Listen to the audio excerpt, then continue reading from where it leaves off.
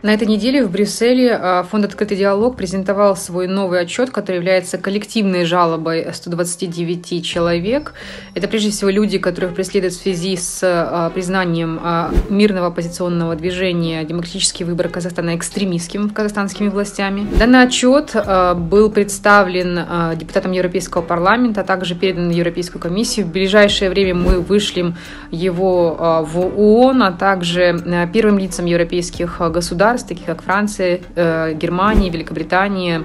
Финляндия, а, а также другие главные ключевые партнеры страны э, Европейского Союза и Казахстана. Для того, чтобы поднять э, индивидуальные кейсы всех политических заключенных в Казахстане, тех, кого а, преследуют по политическим мотивам, в частности, правозащитников, таких как Елена Семенова, только за то, что они принимали участие во встречах в Европейском парламенте, а также актуальные а, кампании дискредитации в отношении а, правозащитных организаций Евгения Жовтиса,